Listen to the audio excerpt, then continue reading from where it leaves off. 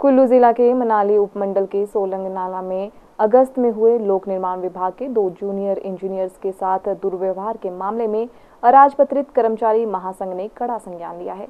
इस मामले में लोक निर्माण विभाग के कर्मचारियों के साथ राजपत्रित कर्मचारी महासंघ के पदाधिकारियों ने उपायुक्त कुल्लू आशुतोष गर्ग से मुलाकात की और इस मामले में जल्द उचित कार्रवाई कर दोषियों के खिलाफ कड़ी कार्रवाई की मांग की। ये सर्वप्रथम तो ये जो इंसिडेंट हुआ है ये अपने आप में एक बेहद ही शर्मनाक इंसिडेंट है। एक जो सरकारी कर्मचारी है वो अपनी जो ड्यूटीज़ है वो परफॉर्म करता है बिना किसी भय के। वो कभी भी जब भी उसे बत, बताया जाता है जहाँ भी उसे भेजा जाता है अपने उच्च अधिकारियों द्वारा तो वो अपनी सरकारी काम का जो निर्वहन करने हैं जो वो जाता है।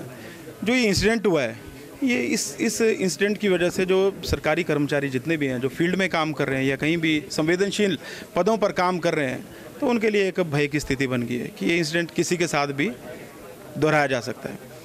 हमने आज जो यहाँ पर उपायुक्त महोदय महोदय से जो आज मीटिंग हमारी अभी हुई है तो उसमें हमने दो चीज़ें बड़ी स्पष्ट तौर पर रखी हैं कि पहली बात, ये जो हुआ है इंसिडेंट हुआ है, ये दुर्भाग्यपूर्ण है, इस तरह का इंसिडेंट अपने आप में होना नहीं चाहिए था।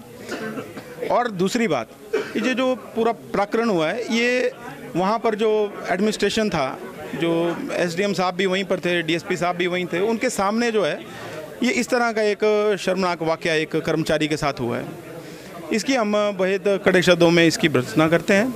और हमने डी साहब से इसके लिए एक टाइम बाउंड इंक्वायरी के लिए कहा था, जिसे उपायुक्त महोदय ने मान लिया है। और उन्होंने पंद्रह दिन का हमें टाइम दिया हुआ है कि पंद्रह दिन के अंदर एक इंक्वायरी जो इस पर बिठाई जाएगी और उसको कंक्लूड करके जो है, आपके समक्ष जो है, आगे जो भी होगा वो रखा जाएगा। तो बाकी जो पेन डाउन स्ट्राइक की बात जो चल रही थी तो प्रधान जी मेरे साथ ही हैं यहाँ पर। तो इसमें ऐसा है कि अभी ये जो पेन डाउन स्ट्राइक है, ये कंटिन्यू रहेगी। लेकिन कंटिन्यू रहेगी तब तक जब तक हमें लिखित में जो है इंक्वायरी का जो है लेटर जो है मिल नहीं जाता, जो टाइम बाउंड इंक्वायरी है पंद्रह दिन की। जैसे ही ये फिर ये लेटर हमें मिल जाता तो ये अभी हमारा यही यहाँ पर ये डिसाइड हुआ है कि उसके बाद जो है ये कॉल ऑफ़ कर दी जाएगी।